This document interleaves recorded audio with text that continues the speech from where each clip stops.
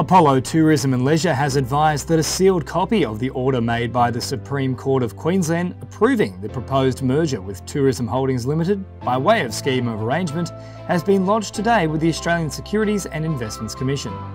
The scheme is now legally effective and it is expected that quotation of ATL shares on the ASX will be suspended from the close of trading today, November 21. The scheme remains subject to completion of the divestment to Jucy Group Limited, which is expected to occur shortly prior to implementation of the scheme, which is currently scheduled for the 30th of November 2022.